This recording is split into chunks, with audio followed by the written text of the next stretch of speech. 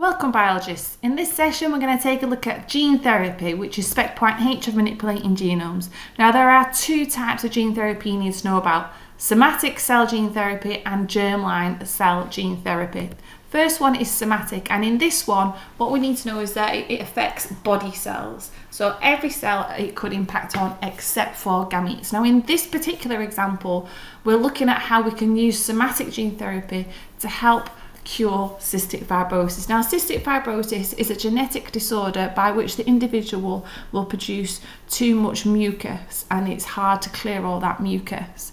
Um, so as you can see here, we have a virus and this virus is used as a vector. This virus will have inserted into it using genetic manipulation and genetic engineering the healthy gene uh, that these cells that line the lungs need. This individual will breathe in the virus, and the virus works by inserting its genetic information into our genetic information.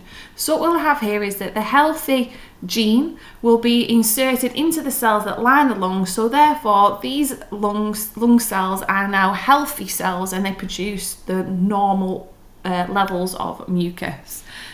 So, this person has a temporary cure for cystic fibrosis. However, there are some advantages and disadvantages here that we need to know about. First of all, is that it targets specific tissues in need of treatment, which is fantastic. In this particular case, we're just targeting the lungs. In other cases, you might be just targeting the pancreas or whatever particular tissue it is that you want to impact on. It will extend the lifespan of the individual because at this point they're no longer impacted by cystic fibrosis on a temporary basis, so it will prolong their lifespan. However, disadvantages are that this is a repeated treatment. We do need to repeat this and the cure is only temporary. And the reason for that is that these healthy cells here that contain that healthy gene will eventually die off and need to be replaced by new cells, and those new cells will contain the unhealthy gene. So in order for this process, in order for this individual to benefit more, they'd need this process to be repeated on a regular basis. The inserted gene here into these healthy cells cannot be passed on to any offspring.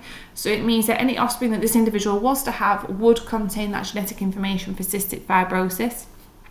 There are some unknown side effects, especially to this virus here, the, we might have an immune response to the, the virus. And also, sometimes using somatic gene cell therapy, it can be an invasive procedure. This particular example is not, but sometimes it can be.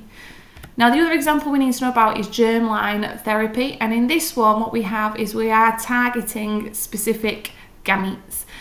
Now, um, what we can do here is we can target those gametes to, again, um, insert the healthy gene for a particular disease and get rid of the unhealthy gene. Now, this is uh, really beneficial for having a long term cure because you're getting rid of the unhealthy gene and inserting the healthy gene here. Again, you could use an example like cystic fibrosis or Huntington's or something like that, where it's a genetic disease. Um, the good thing about this is that the um, offspring would inherit that healthy gene and they'd have that long term cure. However, you can't target a specific tissue here, and there are massive ethical implications. And at the moment, um, we're not allowed to carry out this procedure um, because it could lead, lead into things like designer babies, where people are uh, specifically asking for certain traits within their offspring, which is massive, massive ethical implications there. Um, so that's everything we need to know here about somatic and germline uh, cell therapy. Good luck with your exams and don't forget, don't use the words it, they, amount and size. Good luck.